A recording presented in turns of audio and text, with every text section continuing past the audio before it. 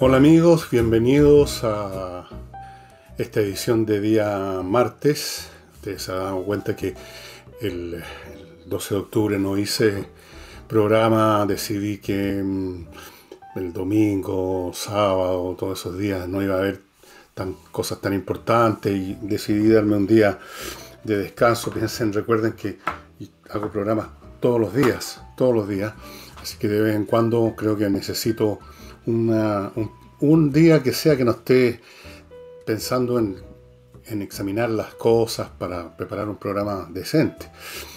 Y vamos a partir con, y aún así no hay muchas cosas, las declaraciones de Guillermo Tellier relativas a, a la violencia, a las manifestaciones. Em, hubo una entrevista en el diario La Tercera y él dijo que si se trata de si se identifica las manifestaciones con la violencia, eh, bueno, yo no voy a hacer que no llame a las manifestaciones. dijo una frase un poco enredosa, un poco ambigua, eh, que fue interpretada en forma bastante crítica por todos los sectores, incluyendo la oposición, el gobierno, etc., como que Telier no estaba haciendo una, diferencia entre manifestarse y ser violento? ¿O acaso estaba defendiendo las manifestaciones aunque vinieran con violencia? En fin, eh, una de las cosas que dijo que más claras, porque la, frase inicial fue bastante oscura, dice que lo que sí podría decir a los manifestantes, supongo, lo que sí podría decir es que traten traten por todos los medios de manifestarse pacíficamente. Yo a estas alturas quisiera saber, en primer lugar, si existe el fenómeno llamado manifestación y el tipo de participante llamado manifestante. Porque me decía una persona que había interrogado, con riesgo supongo que le dieran un fierrazo a una persona que estaba vociferando en una de estas llamadas manifestaciones, le preguntó, bueno, ¿en qué consiste la protesta de hoy? ¿Cuál es el tema? Y no le pudo contestar. Eh, yo creo que si acaso hubo manifestación en el sentido de salir a las calles a decir algo, a manifestar que estamos en contra de esto, de esto, de aquello, porque se sale a manifestar protesta, no a manifestar aprobaciones, ¿verdad? Eso pasó hace rato. Y me cuesta me cuesta calificar de manifestaciones y manifestantes a estas agrupaciones de gente joven, normalmente hombres, pero también hay mujeres, normalmente jóvenes, pero también hay gente mayor, que no manifiestan nada, no hacen ver ningún nuevo punto, sino que simplemente se concentran a saltar y a ejercer violencia, tarde o temprano. Y la violencia no es solo, por favor, el atacar a una persona, a carabineros, sino que, por ejemplo, rayarle y destruirle y arruinarle y ensuciarle el negocio a alguien es un acto violento, ¿no es verdad? Es un delito. Eh, insultar a la gente que va pasando, ponerse frente al vehículo y saltarle encima y golpearlo y abollarlo o exigirle al conductor que salga a bailar alguna cosa para manifestar su solidaridad con la manifestación, eso es violencia es un acto de violencia, están violentando a alguien. Entonces, yo no sé si tiene sentido seguir hablando de manifestaciones y de manifestantes cuando hace mucho rato que, incluso desde el principio, la mayor parte de las actividades que hemos visto desde octubre en adelante en las calles no tienen que ver con un grupo de gente que sale a manifestar un punto de vista, a manifestar un rechazo a algo concreto. Han habido algunas, pero normalmente lo que hemos visto son agrupaciones de fulanos organizados para ejercer violencia y vandalismo. Eso es. Ha estado ocurriendo desde octubre y ha estado ocurriendo en forma organizada. Ni siquiera son estos vándalos que salen de un estadio al final de un partido y, por, cualquier motivo eh, sueltan sus instintos destructivos y de robo también. Y no, estas son cosas organizadas etcétera, que yo las examino justamente en mi libro Insurrección. Y a propósito de eso, el libro ya está en la imprenta. Eh, muy pronto van a empezar a llegar los libros a las personas que los adquirieron en, la, en esta preventa, pero por supuesto no es de un día para otro. Eh, tengan paciencia, va a ocurrir en el curso de este mes, van a empezar ya a llegar muchos de los libros que, que ustedes compraron. Así es que, por favor, tengan un poco paciencia y, en fin. Él eh, decía que ya uno no ve manifestaciones, uno ve eh, acciones, movilizaciones, asonadas, revueltas, vandalismo, pero manifestaciones. Entonces, esta diferenciación que se hace entre manifestantes pacíficos y manifestantes violentos es completamente arbitraria, o más bien dicho es ilusoria, no tiene ya realidad ninguna. Esto no es el caso de esas marchas de estudiantes que vimos años atrás, donde también se hacía esta distinción muy sospechosa entre los, participantes que fueron a hacer ver sus puntos de vista sobre la educación y los incidentes que se produjeron al final, que siempre se achacaban a un agente externo, que era el Lumpen. ¿Se acuerdan? El Lumpen. Terminaba la marcha y llegaba el Lumpen, o sea, era un grupo de gente distinto, minoritario y que no tenía nada que ver con, la marcha. Yo creo que eso era una falsedad.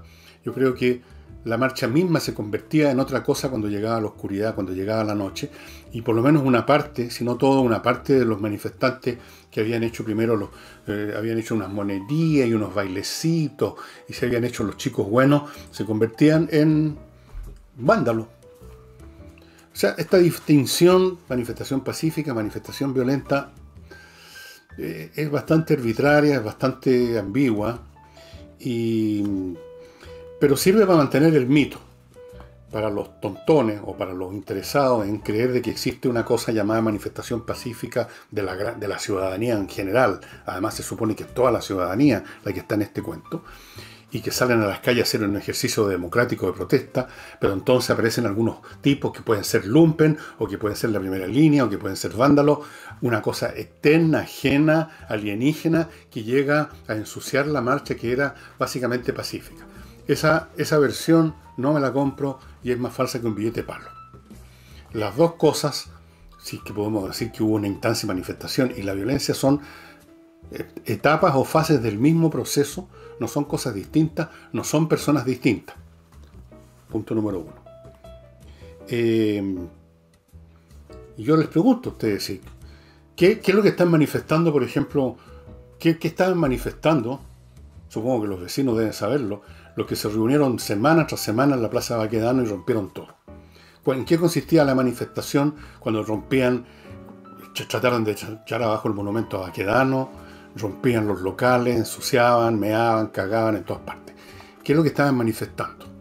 Si a usted vecino de las Torres San Borja, y a lo mejor escuchó alguna frase, alguna, alguna tesis, ¿no es cierto? Un postulado teórico. Por favor, comuníquenos.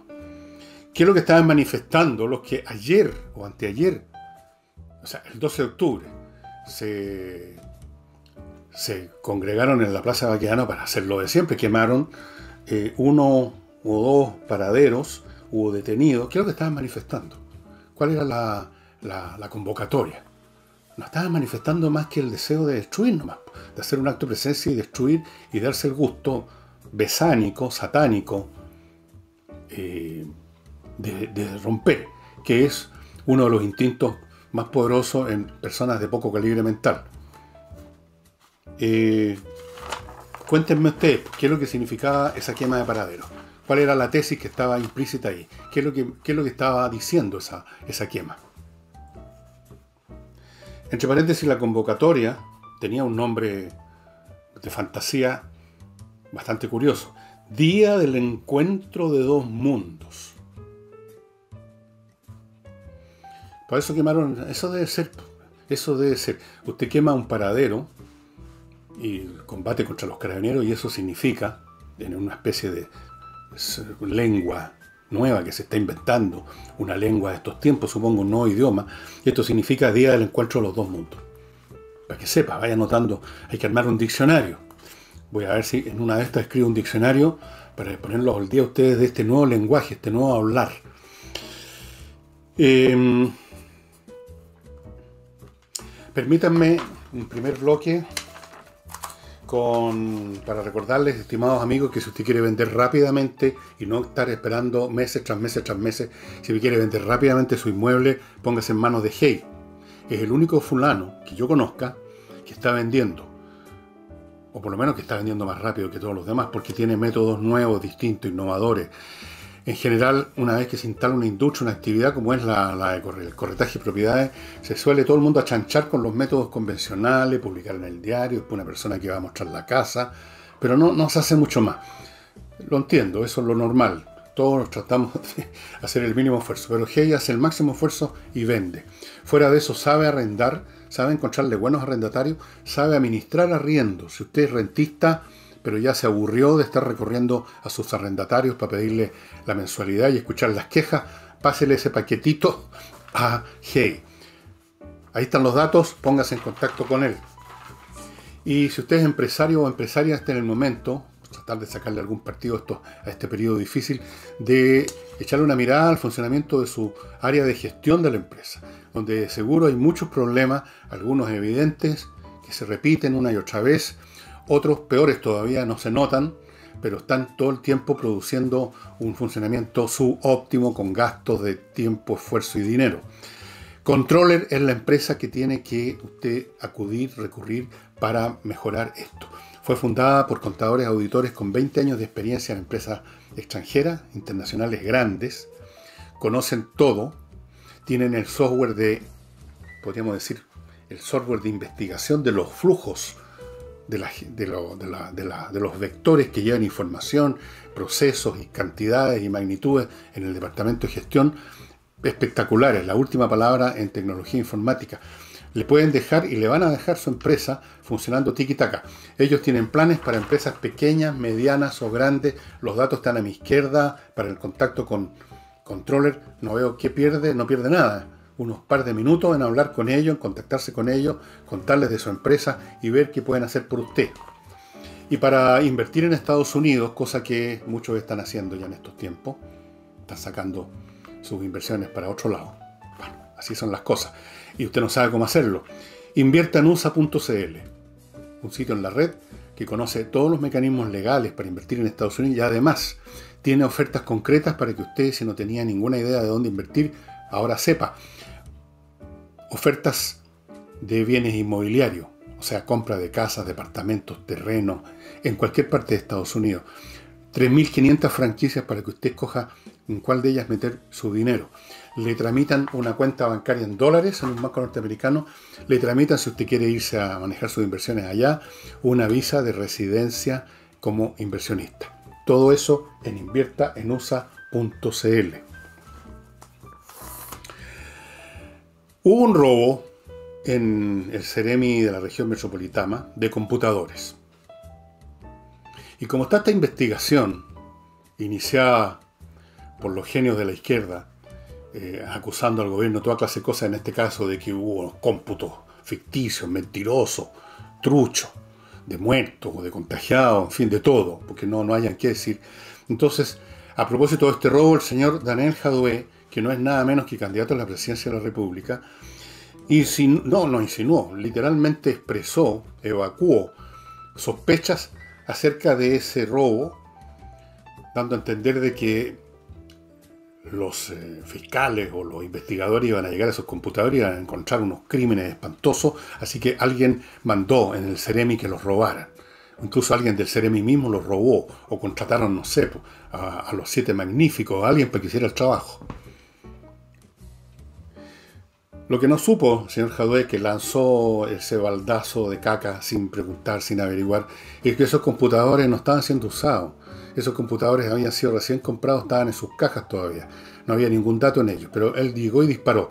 El ministro Paris dijo que esa versión de Jadue era falsa y ridícula, por la razón que estoy dando, y hizo algunos otros comentarios sobre lo que significan este tipo de imputaciones hechas al voleo sin ningún antecedente esas sospechas que uno puede quizás tenerlas, pero si uno no tiene datos y considerando que es persona pública hay que guardárselas, ¿verdad? Bueno,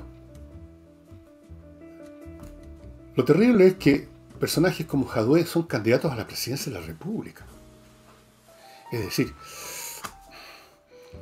eh, no sé, uno espera de los candidatos a la presidencia de la República alguna inteligencia, algo, por lo menos que sepan leer y escribir, ¿no es cierto? Eh, y me refiero a toda clase de candidatos, de izquierda o de derecha. Yo conocí personalmente, no, no como amigo, pero lo conocí, estuve con él en distintas ocasiones y, y, por último era contemporáneo de toda su vida política, digamos, de los últimos años, de los últimos 20 o 30 años de su vida política, no toda ella, de Salvador Allende. Lo conocí en la universidad, estuvo en mi casa, seguía sus actividades, pues yo ya era grande y él era senador, después fue candidato tres veces, tres, cuatro veces, estoy 58, 64, no, el 52 creo que también fue, no sé, tres o cuatro veces fue candidato a la presidencia. Era un hombre que estaba permanentemente presente. Era un hombre inteligente y culto. Conocía a Necieto Rodríguez. Era un hombre inteligente y culto. Conocía a Hernán Milla. Era un teórico, era uno, de los pensadores del Partido Comunista en esos años. Eh, no había Daniel Jadue en esas esferas.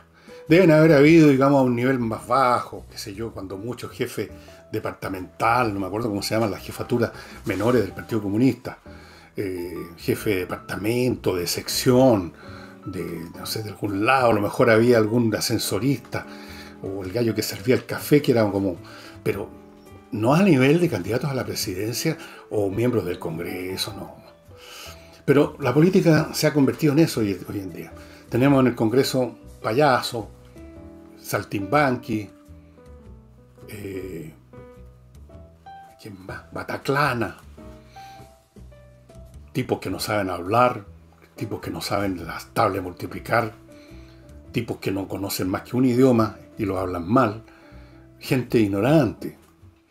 Entonces, bueno, a lo mejor en eso consiste el progreso, ¿eh? está llegando el pueblo ahora, están llegando todos los segmentos, no solamente que la política, compañero, no sea solo una cosa de élite, pero fíjese que sí que tiene que ser una cosa de élite Así como cuando usted va al hospital a operarse de algo, usted no espera que lo opere alguien del pueblo, usted espera que lo opere el mejor cirujano posible. Usted espera que en las actividades eh, importantes de la nación, así como las, actividades importantes de la, de vida privada y aquellas que nos atañen, estén los mejores, esté la élite. Queremos los mejores médicos, queremos los mejores oftalmólogos, queremos los mejores cirujanos y por supuesto queremos los mejores políticos. Queremos la élite, queremos los más inteligentes, queremos los cultos, no queremos a, no a Daniel Jadwe. Y a otros, ¿para qué los mencionan los demás? Gente que no tiene lectura siquiera. Francamente. Ahora, uno puede perdonar, digamos, la medianía, porque eso no es culpa de uno. Uno nace como nace nomás. Pero las personas medianas que se mantienen en su medianía, les alcanza esa medianía para darse cuenta que lo son y saben hasta dónde pueden aspirar. También les alcanza para darse cuenta de cuál es una conducta honesta y aceptable y cuál es una conducta maliciosa, maligna y mala leche. ¿No es cierto? Una persona no se necesita ser un genio para saber cuándo callar, cuándo eh, tal o cual conducta es eh, inaceptable, cuándo un rumor eh, destructivo, no debe eh, mantenerse, no debe, no debe mantenerse circulando. Una persona decente y honesta no hace esas cosas, aunque no sea una lumbrera. Si nosotros, nosotros no somos lumbreras aquí tampoco. Pero tenemos claro que uno no puede andar disparando así. Y al mismo tiempo, y sobre todo si uno aspira nada menos que ocupar ese cargo. Yo no sé qué le pasó a Jadwe porque hace dos semanas me encontré con una persona que fue profesor en la Universidad de Jadwe. Y me dijo que era una persona inteligente.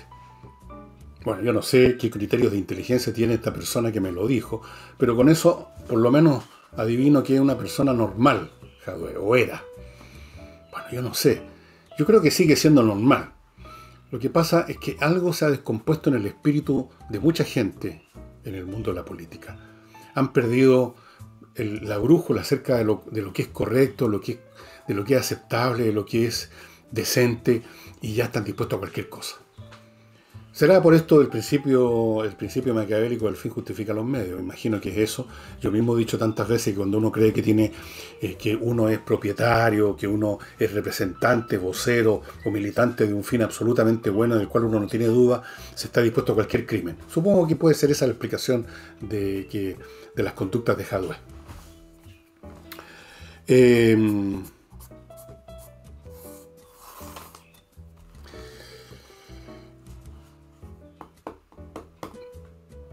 Vamos a otra cosa, estimados amigos. Como ustedes saben, la Organización Mundial de la Salud eh, ha entrado a raíz de la pandemia en una zona nebulosa, repleta de sospechas, por varias razones. Primero, por la manera como fue generada su jefatura máxima, este doctor de algún país de África, en que, fue aparentemente eh, apoyado y elegido gracias a las gestiones de China. Y él muy agradecido, hay una foto que ustedes debieran ver en internet donde aparece Jinping, que siempre está echado para atrás con una expresión imperturbable, así como un Buda. Así está.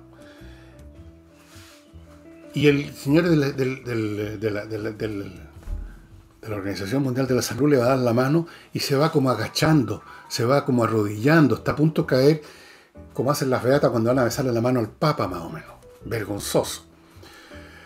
Fuera de eso, hubo un encubrimiento, y eso ya parece absolutamente probado, de la Organización Mundial de la Salud respecto a lo que estaba pasando con la pandemia. O sea, ayudaron a los chinos al encubrimiento de los chinos, que ya no tiene ninguna duda que existió, porque fíjense que se ha descubierto, porque aparecen nuevos datos, que este asunto explotó antes, incluso antes de eh, de noviembre o diciembre, cuando se dijo que partió el primer caso y los chinos trataron de hacerse los lesos y se demoraron muchísimo en dar información, primero dieron información equivocada.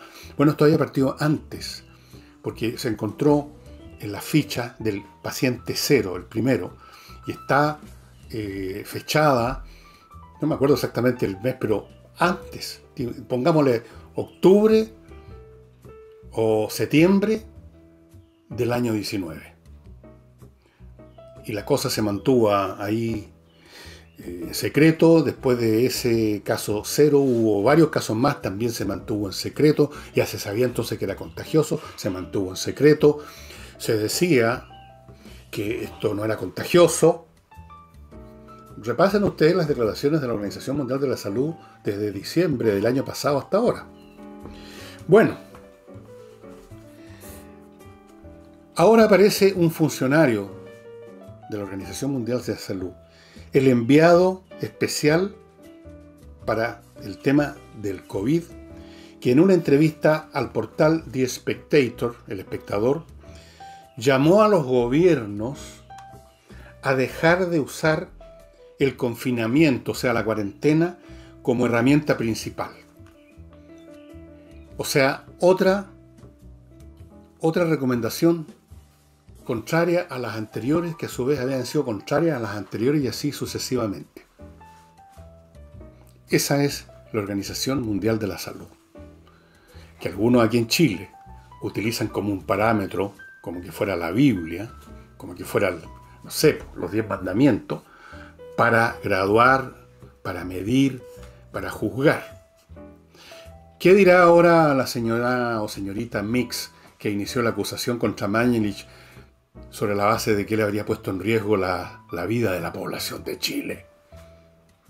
Cuando esto, estas, estas declaraciones, estos personeros de la Organización Mundial de la Salud que dicen distintas cosas en distintos momentos, prueban por lo menos lo siguiente, de que no se sabe nada de qué es lo que conviene hacer.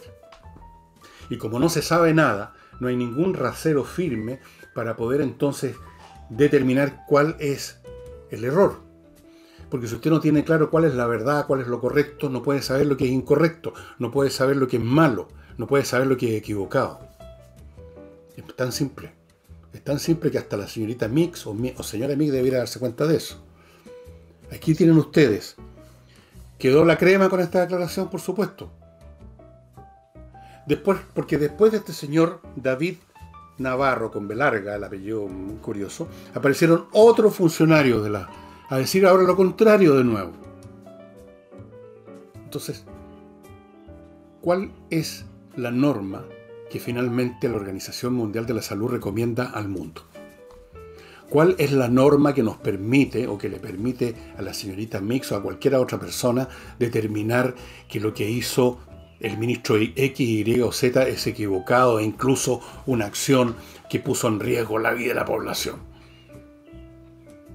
¿Sacará las debidas conclusiones las personas que iniciaron la acusación contra Mañalich? ¿Harán el, harán el, el raciocinio de que si la propia Organización Mundial de la Salud es vacilante en sus recomendaciones y un día dice una cosa y el otro día otra, sacarán la conclusión entonces de que no hay ninguna norma para medir nada, para acusar a nadie y para entrar en esa escalada de denuncias, de acusaciones. Claro que en realidad importa poco esto, lo que pase con la Organización Mundial de la Salud. Importa poco que se sepa tan poco del COVID, porque en definitiva ni la señorita Mix ni los demás iniciaron esta acusación por un tema sanitario. Y entonces no es el caso que se vayan a decir, bueno, en realidad, en vista de esta situación, parece que en realidad no tiene fundamento la acusación. Para ello es un asunto político, así que da lo mismo, da lo mismo. Y ahí entramos otra vez, eh, volvemos al punto que estaba haciendo con Jadweb.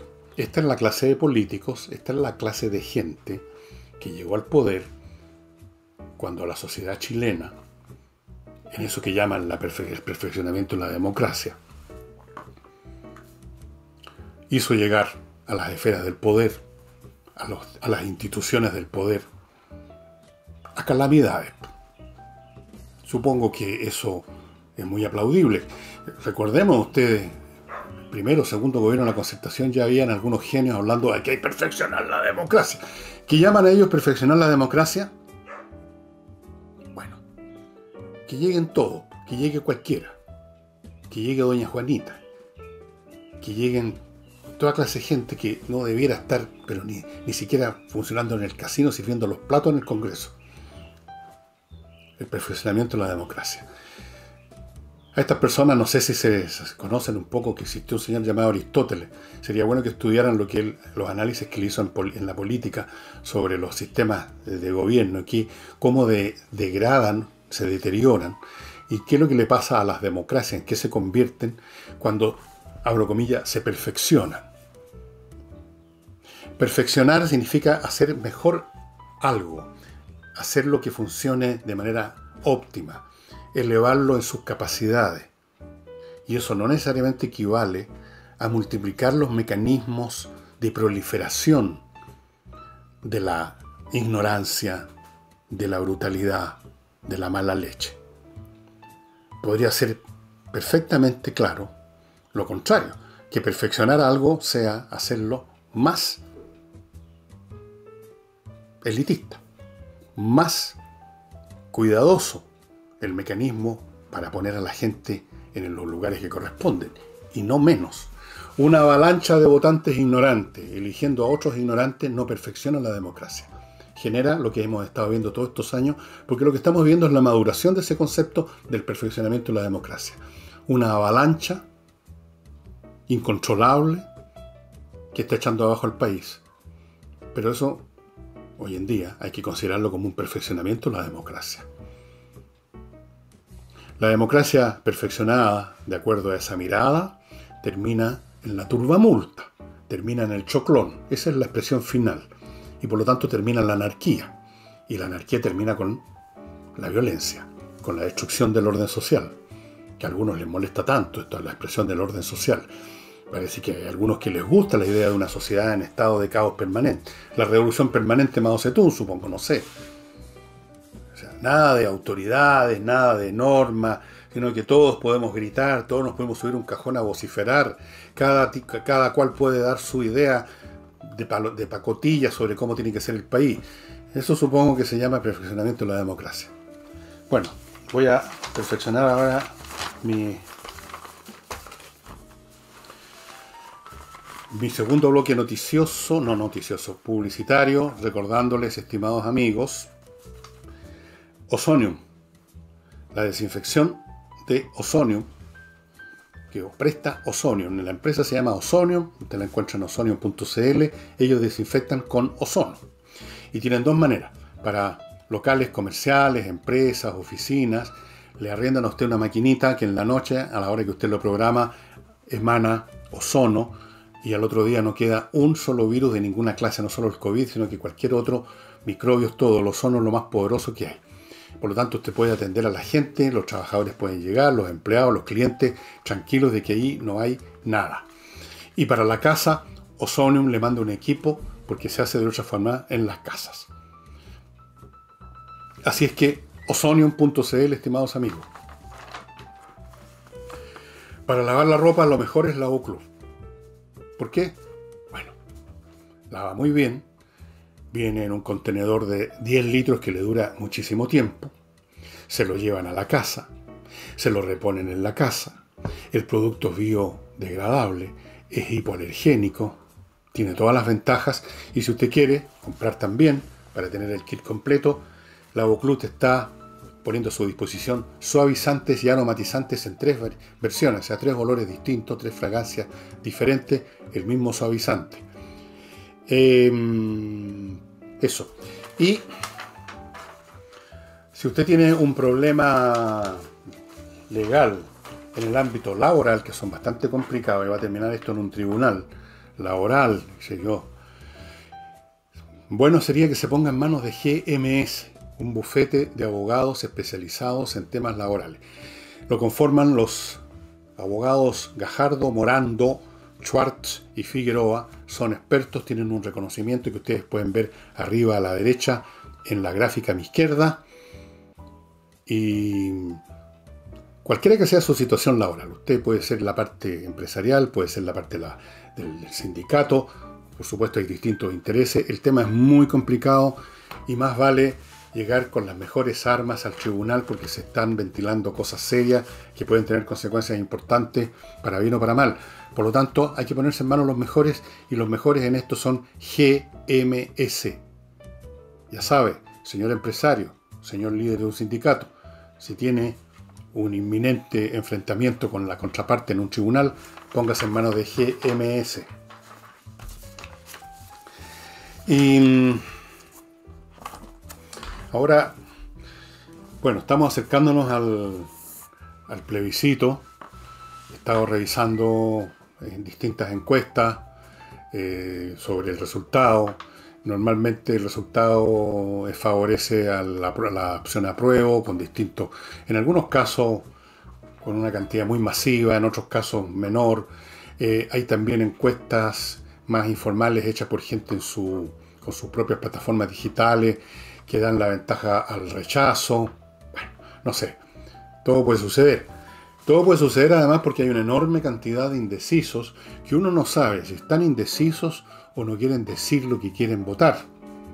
Y si es el segundo caso, me imagino yo que la gran parte de esos indecisos, que en realidad ya lo decidieron, no son indecisos, sino que son personas temerosas de Dios que creen que una de estas dos opciones es menos popular que la otra y puede significarles algún problema en el barrio, o si alguien averigua. Los medios son muy ingeniosos, andan viendo peligros por todos lados. Así que, bueno, pero lo que yo quiero decirle, estimados amigos, es que hay que prepararse para los dos resultados y de, y de dos maneras. Hay que prepararse para triunfar con su opción o para ser derrotado con su opción, cualquiera que sea. Esto es súper importante, estimados amigos. Si su opción es la triunfadora, y yo me imagino que la mayoría de las personas que ven este programa eh, son personas que van a votar rechazo, no, no creo que sea muy difícil adivinar eso. Si su opción es triunfadora, no es el momento de salir a provocar, a desafiar, a quienes han estado ocupando las calles todo este tiempo y usted quizás va a sentir ganas de, ahora devolverles la mano. No, mejor no. Tampoco se trata de quedar inmovilizados en el tiempo como si no hubiera pasado nada en Chile, sino que va a haber que entrar en contacto, los políticos tendrán que hacer eso con los del otro lado, para ver maneras de, de que las cosas se hagan bien. En este caso quiero decir, la reforma, si gana el rechazo, eso no quiere decir de que no se revisen, incluso con el adversario, algunos puntos de la actual constitución para ver modo de mejorarlos, optimizarlos, si acaso hay espacio para eso. No quedarse en una actitud cerrada, digamos, ya ganamos y por lo tanto jodas. Eso sería bastante tonto y perjudicial para todos. Si pierde el rechazo, si pierde el rechazo, no es cosa de echarse a morir, de hacer las maletas, sino que es cosa de prepararse para lo que se inicia, porque no se va a estar votando otra constitución, porque eso es lo curioso de esta elección, que por un lado hay una constitución conocida, o por lo menos que pudiera conocerse porque existe, y por otro lado no hay una constitución, por lo menos que conozcamos, aunque la izquierda ya la tiene preparada, pero en teoría no hay ninguna constitución, sino que se inicia un proceso.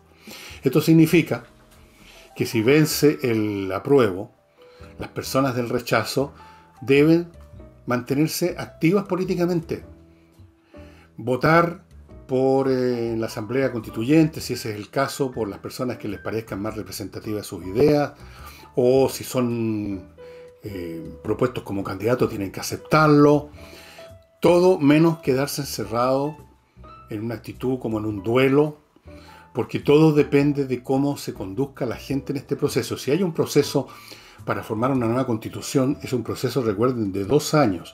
Y aunque hay un sector que ya tiene lista una constitución a gusto de ellos, no pueden imponerla de buenas a primeras. Va a haber un proceso. Y por lo tanto va a ser esencial participar en él.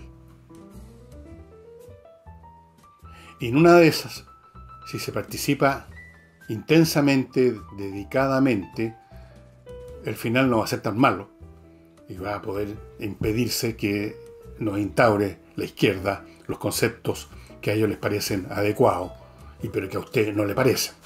Pero tiene que estar activo. Es decir, los, aquellos que les cuesta hasta ir a votar, que están con la idea de que a lo mejor no voy a ir a votar. Bueno, personas así se merecen todo lo que les pase después. No, se, no lloriqueen después ni esperen que llegue la salvación de otro lado porque no va a llegar actúen. Ahora, si gana eh, a, las personas de la prueba, las personas de la prueba que ganen deben también comportarse civilizadamente y no convertir esto en una especie de guerra civil que, que ya se decidió todo, porque si gana la prueba empieza un proceso todos los ciudadanos deben comportarse civilizadamente.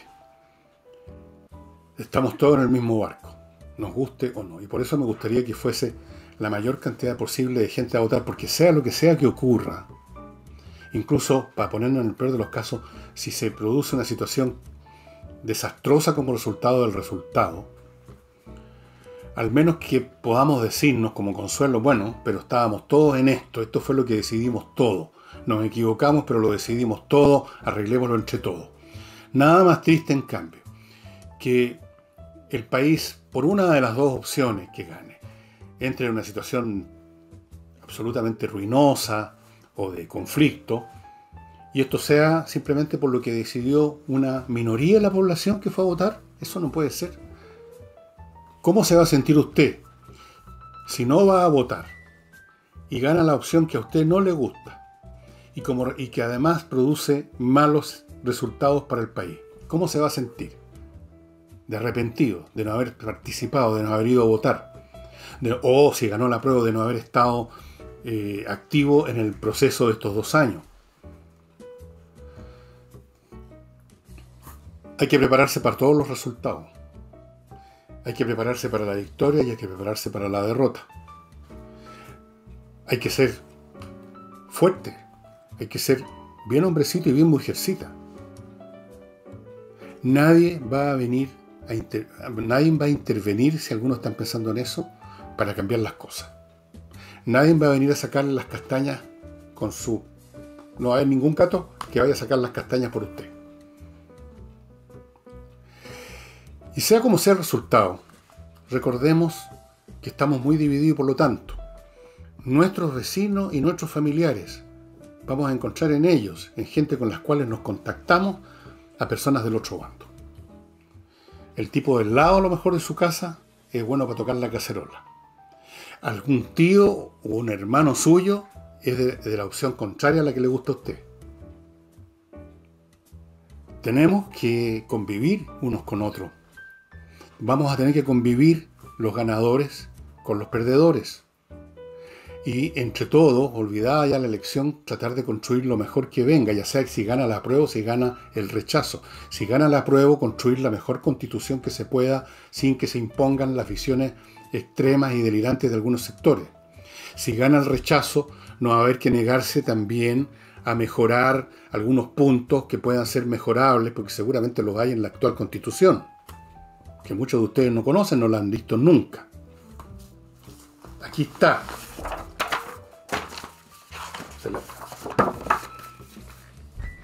Estudienla. Somos mayorcitos ya.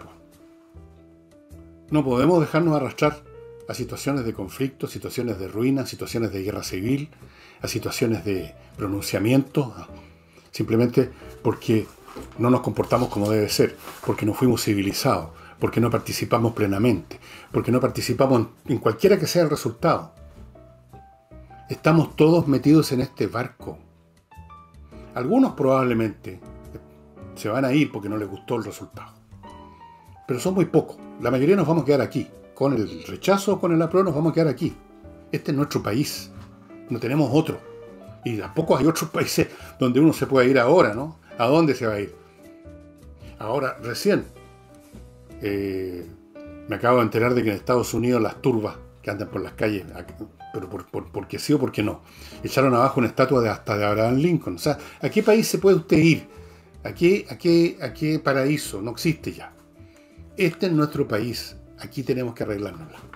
Y antes de continuar, estimados amigos, antes de pasar el libro que les voy a mostrar, les recuerdo que usted puede eh, efectuar sus diligencias notariales con mucha más rapidez y comodidad con notariospress.cl.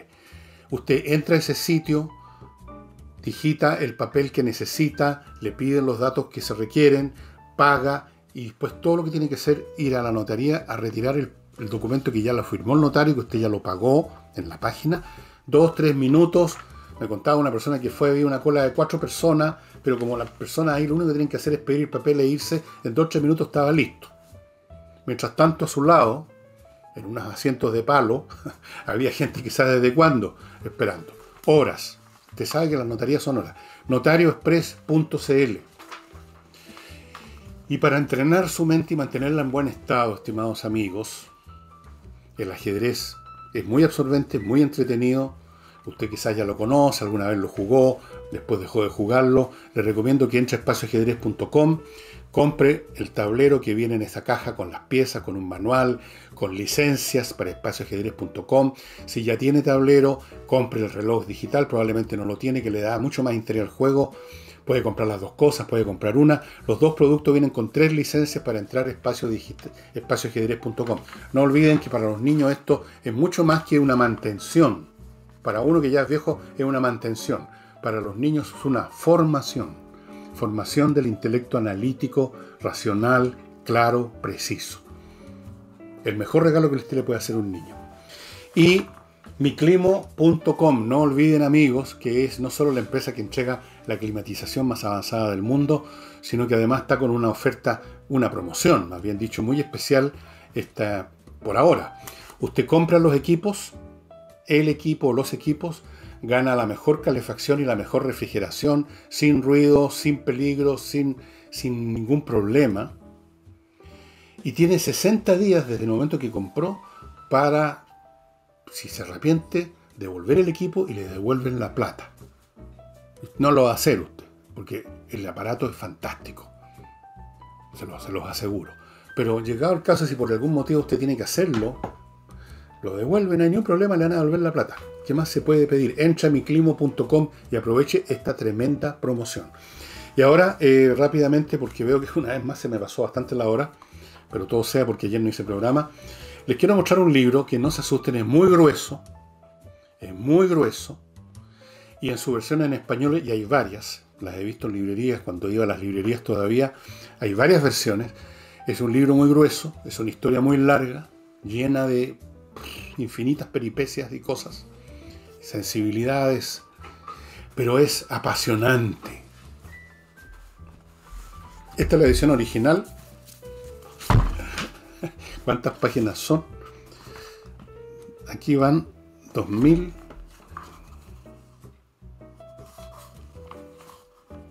360. A la recherche du temps perdu, en busca del tiempo perdido de Marcel Proust. Insisto que esto está en castellano y no viene. Bueno, pueden haber ediciones que vengan como esta en un solo volumen. Esta es una edición de las famosas Gallimard. Ustedes ven que está bastante manoseado el libro porque lo he leído y releído. Eh, pero en castellano no hay ningún problema porque el castellano es un idioma parecido, similar, de la misma, eh, de la misma familia lingüística que el francés, son idiomas latinos, y por lo tanto las traducciones no son tan complicadas y por lo tanto tan traicioneras como traducir, por ejemplo, del inglés o del alemán, especialmente al castellano, que son distintos, no son idiomas romances, son, tienen otras estructuras semánticas, son, tienen relación con el, con el francés, con el español, pero más lejana el castellano y el, y el francés, así como el italiano también, son, eh, son primos hermanos del francés. Así que eh, usted no va a encontrarse con una traducción. Esto es un libro maravilloso. Es el tiempo perdido al que se refiere Marcel Proust, es la Belle Époque. Ese mundo fragante y al mismo tiempo de esa fragancia de una flor que ya se está marchitando, que está cayendo. Usted ven en esta foto en que aparecen unas damas decimonónicas o de principio del siglo XX en una pista de carreras de caballo, aparentemente muy pituca estas señoras. Era un mundo muy elegante, muy refinado, que abarcaba probablemente el 5 o 10% de la población nomás. El resto vivía en forma bastante miserable. Y es el rescate de esa época y de sus muchos personajes, muchos de los cuales son personajes reales que conoció Marcel Proust y les cambió apenas el nombre. Uno de ellos, por ejemplo, es Anatole France. Eh, son seis volúmenes, tres, siete volúmenes del lado de Chesuan a la sombra de las, eh, de las jóvenes en flor, el lado de los Germantes, Sodoma y Gomorra, La prisionera, eh, Albertina desaparecida, El tiempo reencontrado.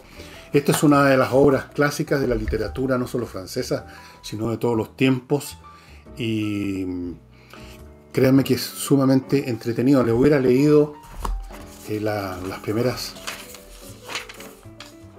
las primeras líneas que empiezan con una sensación olfativa.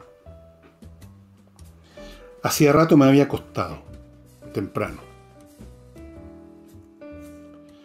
A veces, apenas había apagado la vela, mis ojos se cerraban tan rápido que ni siquiera tenía tiempo para decirme me estoy durmiendo. A veces nos pasa, ¿no? Y media hora después, el pensamiento que ya era tiempo de, dormirse me despertaba. O sea, estaba en esa situación, el personaje está en esa situación de duerme vela, en que no se sabe bien si uno está despierto o uno está dormido, si uno está soñando que está despierto o si uno está medio soñando que está dormido, ese, estado entre medio que es muy especial. Y en eso, entre los recuerdos que le vienen, bueno, así empieza a la recherche du temps perdu de Marcel Proust, un autor, eh, uno de los grandes autores de la literatura francesa. Esto es un libro que cualquier amante de la buena literatura tiene que leer. Repito que está en versión española y viene separado en varios tomos, así que no se hace tan pesado. Pero además, un libro no es pesado por la cantidad de páginas. Un libro es pesado cuando es malo. un libro malo es pesado en la primera línea. No voy a dar ejemplos para no, para no ganarme más enemigos los que ya tengo. Pero hay libros muy angostitos, muy chiquititos, que de repente hasta se ponen de moda y ganan hasta premios, y que están tan mal escritos que uno simplemente no puede resistir más de un párrafo. Esto se puede resistir completo. Y eso sería todo, estimados amigos. Eh, nos estaríamos viendo mañana y no olviden, prepárense para todo. Somos grandes ya. No caigamos en histerismo, no caigamos en depresiones, no caigamos en euforia, no caigamos en ninguna tontería. No somos cabros chicos, los votantes, los electores de Chile. Aquí de lo que se trata es de construir un país, no de ir a victoriar un equipo a un partido. Y nos vemos mañana entonces.